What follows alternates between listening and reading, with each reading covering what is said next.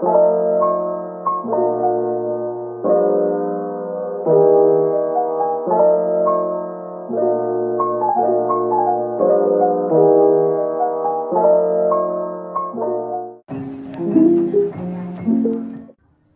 there, journaling friends. Welcome back to another episode of Journal with Me.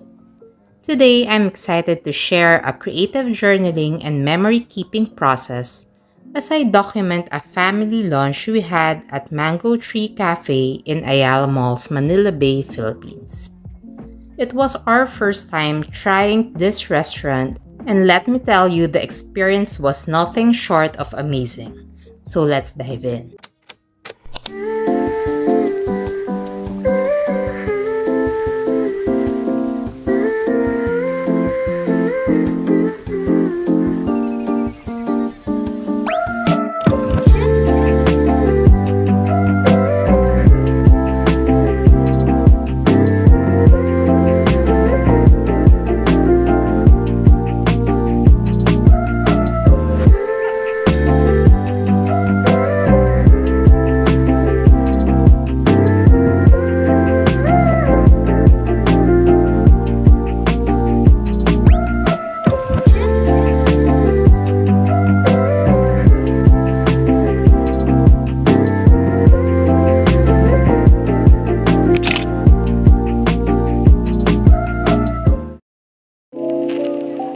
Now let's start journaling about that day's adventure. I'm using my Chic Sparrow Creme Brulee Traveler's Notebook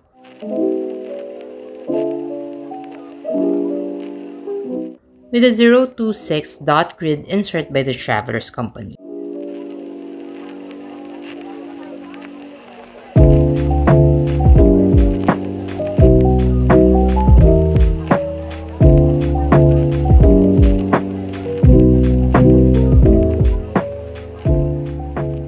As you can see here, there's quite a bit of bleed through from the stamping on the previous page, but no worries, we'll do something about that later on. When I journal, I typically start with the design layout first, and there's a reason for that. For me, the layout sets the tone and mood of the page, helping to capture the essence of the experience before I dive into the writing. In planning the design, I like to think about the vibe of the place I'm journaling about. For this spread, the restaurant had a cozy ambiance with beautiful botanical elements, so I want my journal page to be inspired by that. I'll be incorporating soft earthy tones and botanical motifs to reflect the calming nature-inspired interior of the Mango Tree Cafe. Before I start designing the page, I usually have a basic idea of the theme I want to follow. But I don't let it constrict me. I believe in allowing creativity to flow naturally during the journaling process. Sometimes what I initially plan evolves as I go along, and that's perfectly fine. By staying open to new ideas as they come, I can capture the essence of the moment more authentically. This approach not only ties the visual elements of the journal to the actual experience, but also makes the entire process more immersive and enjoyable. Next, I'll be adding these tiny photos of the restaurant's interior, the food we ate, and our family photo.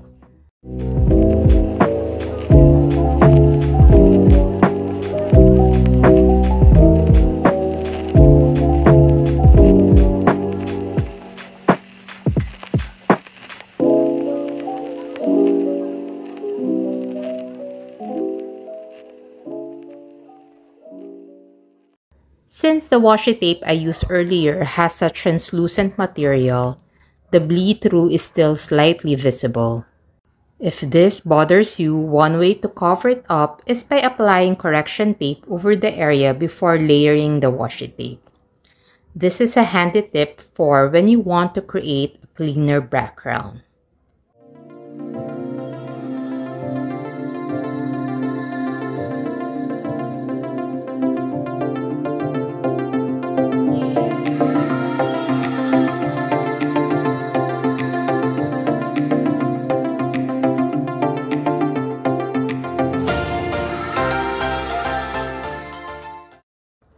As I'm decorating this page, it reminds me of the several trips we've taken to Thailand in the past. One of the things we always enjoy there is the food, especially the authentic flavors of their dishes. However, I have to admit I actually prefer Thai food in the restaurants here in the Philippines because the spices in Thailand tend to be much stronger. I like the flavors to be more subtle and balanced. I even remember that their McDonald's burgers have a distinct taste because of the extra spices and herbs they add. Such a unique experience. How about you? Have you ever had a food experience abroad that was quite different from what you've used to at home? You prefer the more authentic flavors or subtle version? Let me know in the comments below.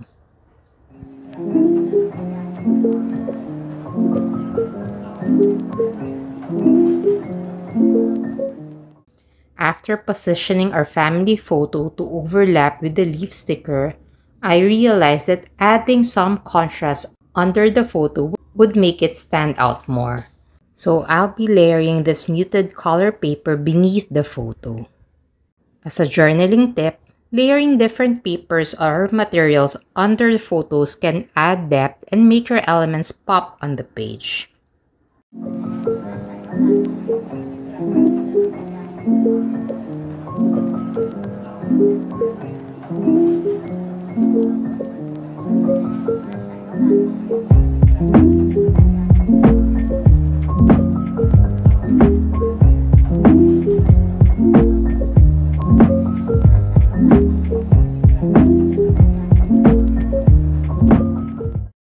For added accents, I'm using this washi tape with soft earthy colors.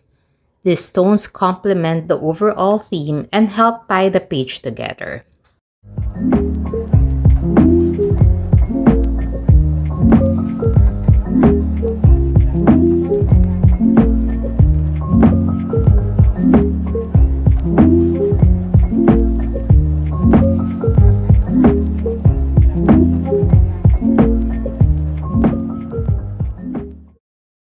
Then using this Hobonichi stencil, I'll draw leaves at the top of our page. Stencils are a fantastic tool in creative journaling because they help you add consistent shapes and patterns, making your layout look more polished even if you're not confident in freehand drawing.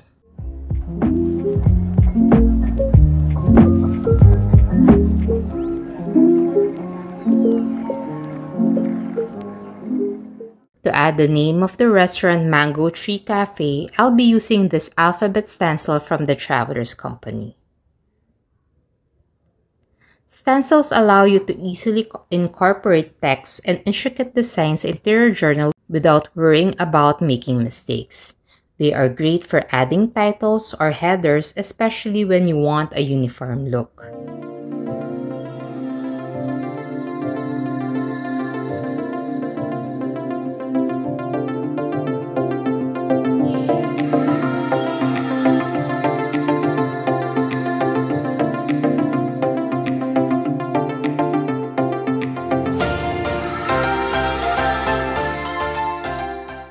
Now let's proceed to the coloring part.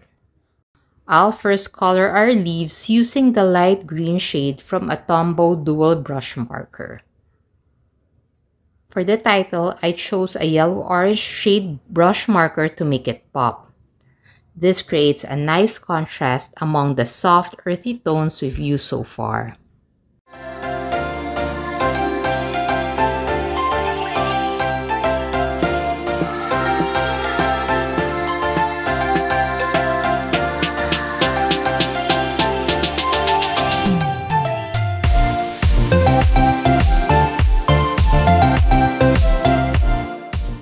Next, I'm adding the date with this date sticker, but, to give it more dimension, I'll layer it over this classic brown grid craft paper. This layering technique adds texture and a bit of visual interest to what might otherwise be a simple date label.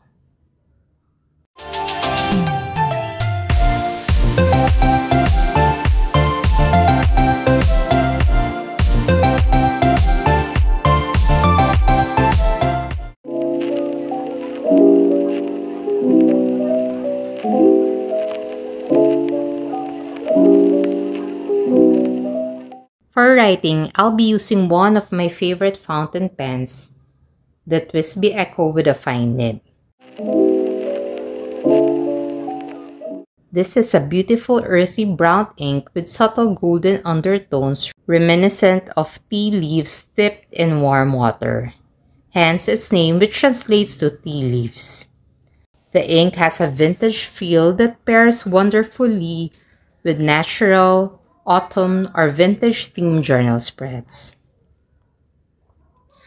I'll do a short write-up about our experience that day, mentioning who I was with, what we ordered, the ambience of the place, and how the food tasted. So your journaling doesn't need to be long or overly detailed. Sometimes the photos and decorations on the page are enough to capture the experience, and a few well-chosen words can complement the visuals perfectly.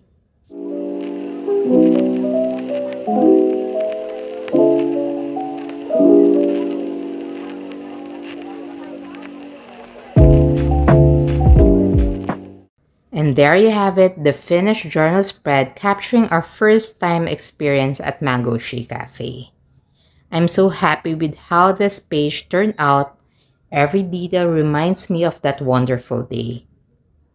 It's always a joy to document special moments like these, especially when they involve trying out something new with the family.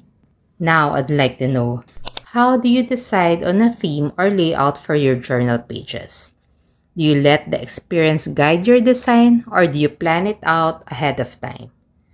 I'd love to hear about it in the comments below. If you enjoyed this journaling session, don't forget to check out my playlist on memory keeping and traveler's notebooks for more inspiration and ideas. Thanks for watching and happy journaling.